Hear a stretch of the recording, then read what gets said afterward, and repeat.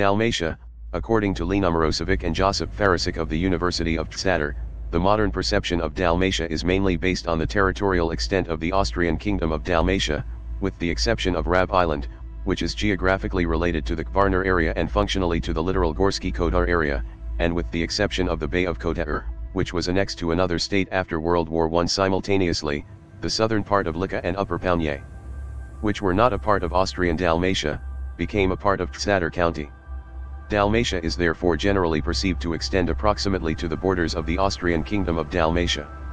The area of Dalmatia roughly corresponds to Croatia's four southernmost counties, listed here north to south. Dalmatia's name is derived from the name of an Illyrian tribe called the Dalmatae who lived in the area of the eastern Adriatic coast in the first millennium BC.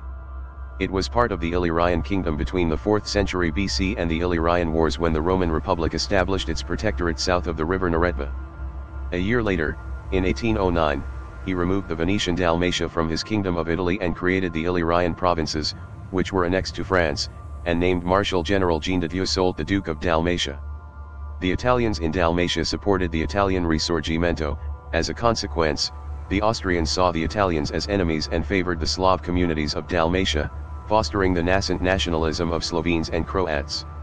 In spite of the guarantees of the Treaty of London to Italy of a large portion of Dalmatia and Italian military occupation of claimed territories of Dalmatia, during the peace settlement negotiations of 1919 to 1920, the 14 points of Woodrow Wilson that advocated self-determination of nations took precedence, with Italy only being permitted to annex Zadar from Dalmatia, while the rest of Dalmatia was to be part of Yugoslavia.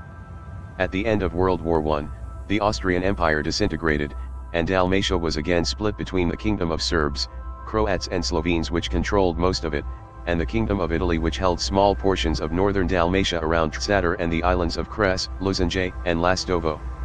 Italy got only a small part of its pretensions, so Dalmatia mostly stayed Yugoslav until Benito Mussolini invaded Yugoslavia in 1941 and annexed the region with the creation of the Governorate of Dalmatia, 36261 E21B90.